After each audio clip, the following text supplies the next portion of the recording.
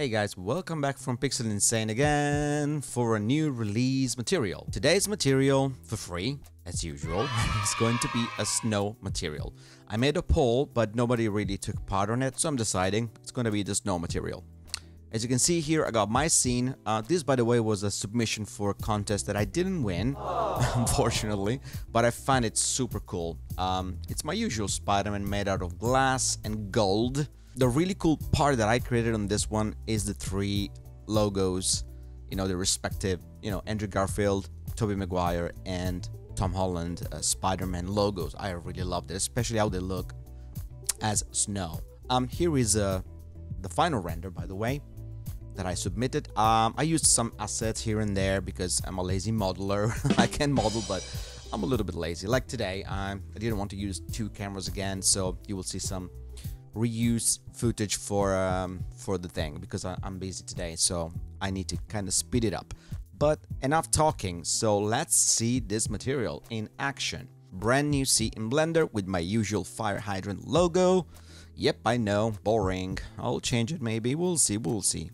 I'm gonna go for my materials and the snow is right there. I know for sure that this object right there in the viewport doesn't have the adaptive vision and it doesn't really work well with displacement so I'm going to delete it. So I'm going to select it and delete it from the keyboard with the delete button, not with the X button. Check my video right here in the card just to see what I'm talking about. So I'm going to delete that, my logo as well. Shift A, create a mesh, icosphere, set it to 4, move it up in the Z axis and then right click shade smooth and add a modifier subdivision surface adaptive subdivision on set it to 3 and add my snow material. And then I'm going to click render and here we have it. We have a really really cool snow material right there. Let's let it render for a bit but that's pretty much what it is um, if you want to see it a little more in details, I'm gonna make a quick render for you. One hour later. Alright, render is done after 53 seconds, I know. It's pretty big, but uh, you know, it's very detailed and all.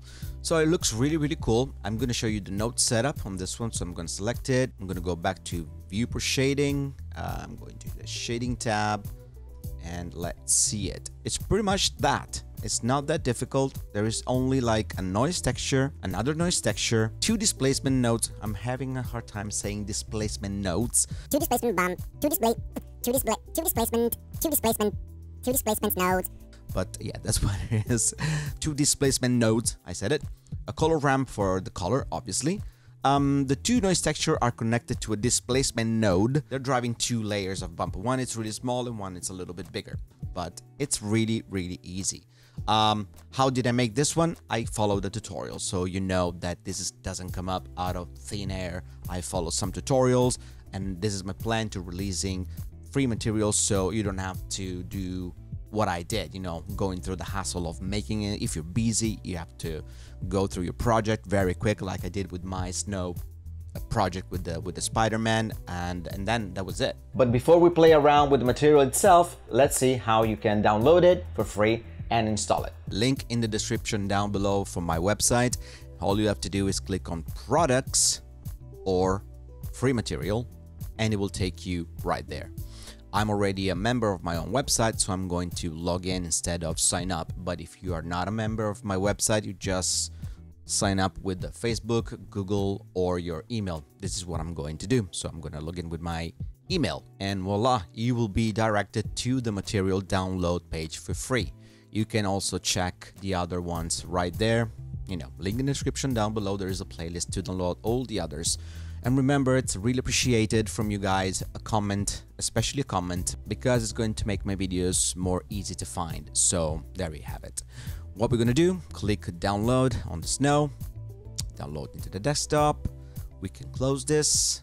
Perfect. We go to the desktop and unzip it. So yeah, you don't need to open a new file, but you can just go to open, go to the desktop, search for snow, and there you go. Open the file, and voila.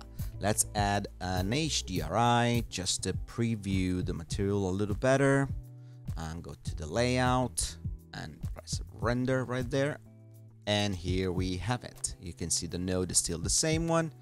Of course, it's going to take ages to render in the viewport, but that's what it is. So that's how you're going to open the file itself. But now let's see how can you append the file in, a, in an existing scene. To append the file in your scene is the same as usual, file, append, or I have a shortcut. Go to the desktop, snow, click the snow, and then looking for the material and voila, even a preview. So click it. I'm just gonna create another icosphere, bring it right there, you know, uh, the usual setting up a subdivision surface modifier set it to 3 and then click render. And nothing happens because we need to apply the material from the drop down menu. Boom. And here we have the snow material right there.